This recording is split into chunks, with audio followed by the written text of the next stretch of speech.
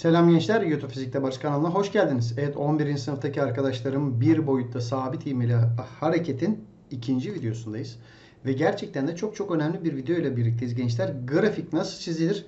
Bir grafiğin anlamı neymiş? Bunları bugün öğreneceğiz gençler. Sonra zaten harekete doğru yüklenmeye başlayacağız.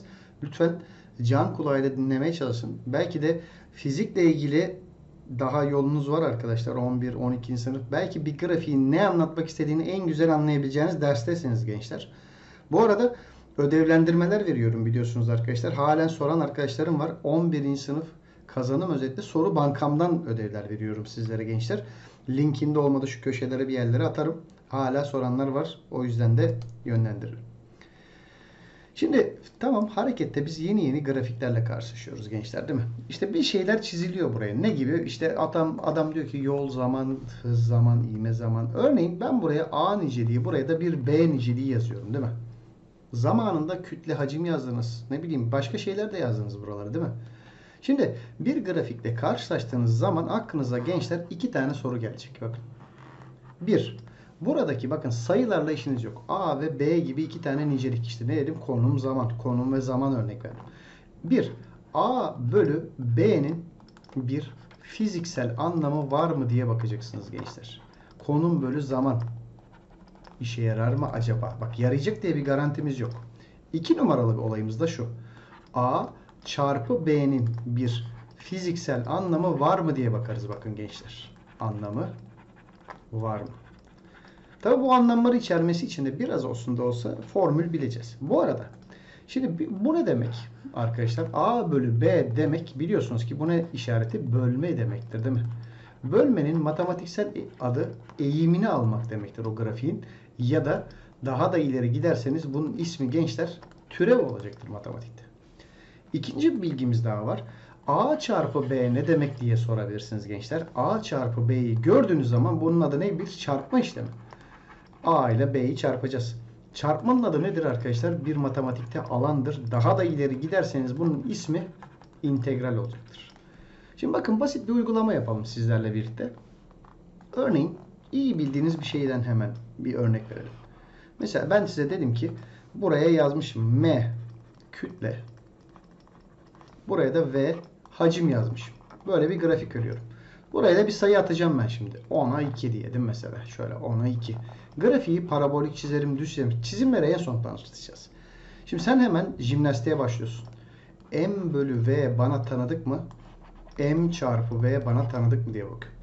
M bölü V tanıdınız mı? Evet ben tanıdım. Bu bir öz kütleydi değil mi gençler? O demek ki ben buradaki sayıları şimdi bölersem yani onu 2'ye bölersem 5 ile bulduğum şey 5 gram bölü santimetre küp bu bir öz kütledir. Peki kütle ile hacmi çarpınca bir şey buluyor muyduk? Hayır. O zaman bunun hiçbir anlamı yok. Bu grafiğin alanını almanız atıyorum şu alanı hesap ettiniz. Hiçbir şey hesap etmiş olmuyorsunuz gençler. Bunun gibi düşünebilirsiniz. Veya başka bir örnek yapalım. Mesela 10. sınıftan kalma bir hatıra yapalım size olur mu? Böyle. Ben buraya getirdim V ne yazdım? Volt. Buraya ne yazdım? I, amper, değil mi? Akım. Nedir? Sallıyorum mesela ben buraya bir sayı sallıyorum. 100'e 5 değil mi? Salladım. Şimdi hemen sen ne yapıyorsun? Jimnastiğe başlıyorsun beyinsel olarak tabii ki. V'yi i'ye bölsem tanıyor muyum? V'yi i ile çarpsam tanıyor muyum? Evet. V bölü i neydi gençler? R. O demek ki 100'ü 5'e bölersem 20 ohmluk bir direnç. Peki V ile i'yi çarparsam tanıdınız mı? Bu bir güç demek arkadaşlar. Neydi? i kare r, v kare bölü r ya da i v ile. He, bunun alanını alacağım. O zaman alıyorum bak şimdi yalnız burada bir çakallıkla tanışacağız. E bu alanı almaya kalkarsam şu alanı alacağız değil mi gençler? Bu bir üçgen. O zaman nasıl olacak? 100 çarpı 5 bölü 2. Ne oldu? 250 watt diye bulduk. Şimdi diyebilir ki öğretmenim hani çarptık. Nereden geldi bu 2? O üçgenin alanından neydi? A çarpı H bölü 2 idi. O 2 üçgenden gelendi.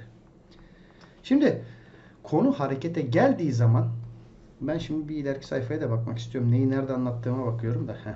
Şimdi neler var? 3 çeşit grafikte tanışıyoruz biz. XT, VT, AT diye 3 tane grafik. Yani ne bunlar? Bu arkadaş biliyorsunuz konum zaman grafiği. Bu neydi? Hız zaman grafiği. Bu ise ivme zaman grafiği. T'lerde zaman zaten biliyorsunuz. Şimdi ben buraya bir sürü çeşit çizerim. Böyle çizerim, parabol çizerim, böyle çizerim. Çok önemli değil. Çizimleri kafaya takılmayın. Şimdi eğer konumuz hareketse sizden iki tane formül istiyorum gençler. Birinci formülümüz şu. Defalarca kullanıldı. X eşittir VT değil mi? Yol, hız, zaman. Ve ikincisi de ivmeyi hatırlar mısınız? Ne demiştik? Delta V bölü delta T. Hatta hızlı bir şekilde ne yazabilirim? V eşittir AT değil mi gençler?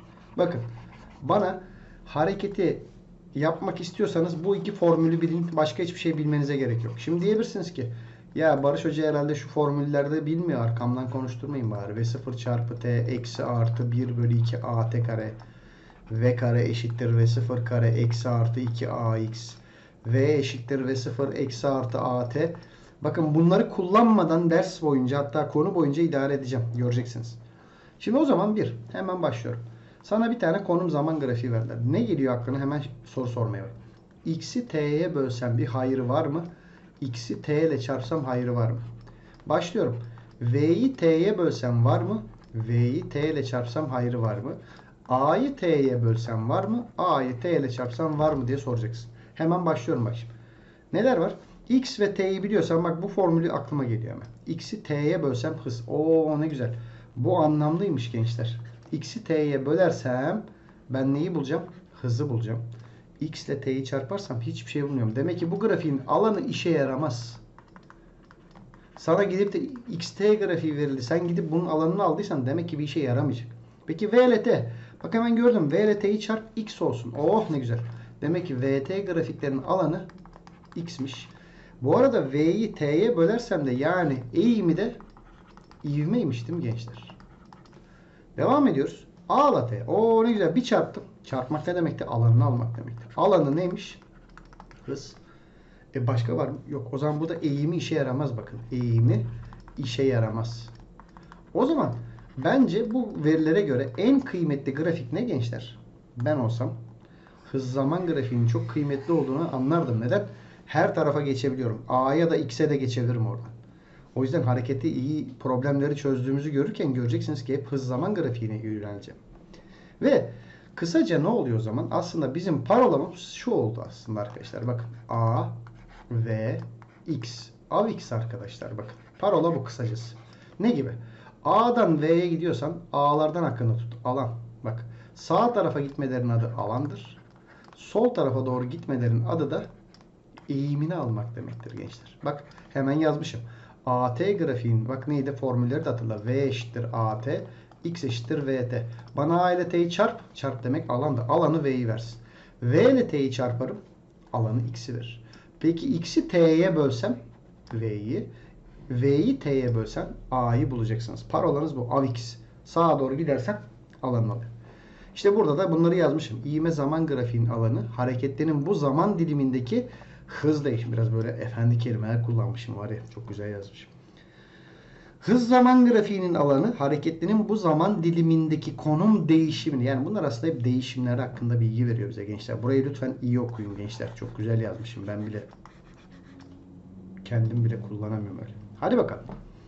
K ve L cisimlerinin konum zaman ve hız zaman grafikleri verilmiştir. K cisminin konum zaman grafiğinin eğimi. Eğim ne demekti? Böl. Yani konumu zamana böl diyor adam sana değil mi? Tanım neden? Eğimin tanımını ben geçen derslerde vermiştim size. Alfa. Karşı kenarı komşu kenara böleceksin demektir. E neydi yani? X bölü T. Benim bildiğim iki tane formül var zaten harekette. X eşittir ve T. X'i T'ye bölersem neyi bulacağım? Hız. Oh ne güzel. Hızını bulacağım. L cisminin hız zaman grafiğinin altında kalan alanı biliyormuş. Alan nasıl bulunuyor? Burası V. Burası da T ise bu bir üçgense V çarpı T bölü 2. 2'yi salla gitsin. O bir ifade yok bizde üçgenden dolayı. VT tanıdın mı? Evet tanıdım. X'miş. Yani yolmuş. O zaman K'nın hızını L'nin aldığı yolu biliyorum ben bu grafiklerden. Bak bu da bir ısınma turuydu. Ve ilk çalışmalarımız bugün konum zaman grafikleri üzerine olacak gençler. Şimdi bakın konum zaman ne demek? X, T. Şimdi formülleri bir hatırlatalım. X eşittir VT, V eşittir AT. O zaman X'i ve T'yi biliyorsan hatta istersen parolaya göre de bak. X'i bilmek demek tek çare var. V'ye geçebilirsin. Bir, her grafiğin kendisi bir şey anlattığını unutmayın. Konum bilgisi. Ben zaten kendim konum grafiği bilgisiyim. İki, benim eğimimi alırsan da hız hakkında konuşursun demektir. Ve dört çeşit XT grafiği vardır. Mesela ne yaparız? Mesela grafiği böyle düz çizeriz. Değil mi? Bir kere Grafikler yukarıya gidiyorsa buna demektir sıfırdan artı x'e geldim. Bu hareketlerin her biri pozitif yönleri temsil ederken burada zaten hareket yok aslında onu sonra tartışırız. Eksi, eksi, eksi. Ve dikkat edin şimdi. Bir matematikçi ne der eğim için? Pozitif x ekseniyle yapılan açıya eğim yani şu açıya eğim derler. Ve dikkat edin şimdi. Eğim ne oldu? Hep aynı. Yani alfa açısının sabit kalması eğimin aynı. Bayır hep aynı bayır. O zaman bu ne demekti? Eğim de sana hızını söylüyordu. O zaman hızının sabit olduğunu müjdeliyor bize. Ha eksiği bulurken de ne yapıyorum? Grafiği hop aşağıya katlıyorum. Peki buraya geliyorum dikkat edin. Açı alfa iken buraya geldiğimde teta. Eğim ne yaptı? Gittikçe bayır dikleşiyor değil mi? Alfa açısı gittikçe artıyor. O zaman iyi. Bu da ne demek? Hızın arttığını. Peki buraya geliyoruz. Açı alfa iken açı gittikçe teta gibi azalmış. Alfa açısı azalıyor. O zaman bu da nedir? Hızın azaldığını yani yavaşlayan anlatır. Ve burada dikkat edin. Hep x konumundasınız değil mi? Zaman geçiyor ama konumunuz hiç değişmiyor. O yüzden bu tür grafiklerde duruyor anlamına gelir gençler. Hadi bakalım sorulara başlayalım şimdi. Konum zaman grafiği verilen hareketli hangi zaman aralıklarında eksi yönde hareket edilir? Bakın bu arada önce bir grafiğe karşılaştıysanız ne grafiği olduğuna çok iyi bakın gençler. Çünkü bu soruyu hız zaman diye sorarsam başka bir cevap verirsiniz. Konum zamansa başka. Ve burada size minik bir tavsiyem. Konum zaman grafiklerini sayı doğrusuna taşıyabilirsiniz arkadaşlar. Grafikte zorluk çekiyorsanız. Neler var? Eksi x var. 0, x, 2x değil mi bakın. Şimdi başlarken neredeyim ben? Sıfırdayım. T anında neredeyim? 2x'teyim bak. Sıfırdan 2x'e gitmişim. O zaman bak birinci bölgede bu hareketi yapmışım. Sonra bir zaman aralığında sıfıra geri dönmüşüm. 2'de. Üçüncüde de ne yapmışım? Sıfırdan eksi x'e gitmişim. Değil mi? Ne zaman eksi yönlerde gittin? İşte bu yönlerde eksisin. Yani 2 ve 3'te. Demek ki yukarı çıkmalar pozitif anlatırken konum zamanlarında aşağı doğru inmeler negatifleri anlatır. Hadi bakalım şimdi bir ileri daha gidiyoruz. 0t, t2t ve 2t3t zamanında süratini sormuşum. Şimdi neydi kuralımız? Avx değil mi? X'i bilmek demek V'yi, sürati ya da hız ne istiyorsa o anda bulabilirim. Sürat deyince skaler kısmına bak demek değil mi gençler? He, o zaman başlayalım şimdi. Burada x'teydim 2x'e gelmişim. İsteyen arkadaş hemen böyle yapacak bak. O x'teydim 2x'e gelmişim bu arada birinci bölgede değil mi diyorum işte bak. O zaman benim süratimi nasıl bulacak? Bak şimdi bölmekti değil mi? Hatta inanmayan yapsın. x eşittir vt'ye göre v'yi nasıl buluyorum? Aldığın x'i t'ye böl. Ne kadar x aldın? 1x aldım. Ne kadar zamanda t? Hadi ikinci bölgedeyim. 2x'ten nereye inmişim? Eksi x'e. Bak 2x'ten eksi x'e gelme için 3x bölü t'dir. Peki üçüncü bölgeye ben geldiğimde eksi x'ten eksi 2x'e gittiğime göre x ve t. O zaman sonuç ne oldu gençler? 2 büyüktür. 1 ile 3 eşittir. Bu arada diyebilirsiniz öğretmenim yönün önemi yok mudur? Tabii ki yoktur. Sürat skalerdir gençler değil mi? S'lerden aklınıza tutun demiştim. İlk videonun anlam ve önemini anlamışsınızdır. Orada temel kavramları anlatmıştım zaten size. Konum zaman grafiği verilen K ve L. Şimdi işte bakın. Bu iki hareketli de sıfırdan x'e gelmiş. Fark ettiyseniz bu sayı doğrusuyken K ne yapıyor? Başlarken sıfırdaydı. Biterken x'e gelmiş. L ne yapıyor? Kırmızıyla gösterelim onu da. Sıfırdan başlayıp x'e gelmiş. Ya ikisi de aynı yer değiştirmeyi yaptı değil mi? O zaman bak yer değiştirmeler eşit cepte. He. Ortalama hız neydi arkadaşlar? Geçen dersten bir hatıra. Yer değiştirmeyi geçen zamana böleceğiz. Biz yer değiştirme aynı, zaman aynı. O zaman ortalama hızlar da eşit. He, benim bunları kıvırarak getirmemin amacı neydi? Bu adamların sıfırdan x'e nasıl geldiğini hızlanarak mı geldim, yavaşlayarak. Şimdi hatırlatırım. Böyle gördüyseniz açı arttığı için bunun adı hızlananlardı. Bunlarsa neydi? Yavaşlayanlardır. O zaman K ne yaptı? Dikkat edin. Hızlanan hareket yaparken L dediğimiz arkadaş yavaşlayan hareket yapmıştır. Doğru mu? Peki şimdi soruya gelelim. Başlangıç anında L'nin L ne yapıyor dikkat ederseniz yavaşlıyor değil mi böyle gittikçe. Demek ki başlarken bir hızı var mıydı?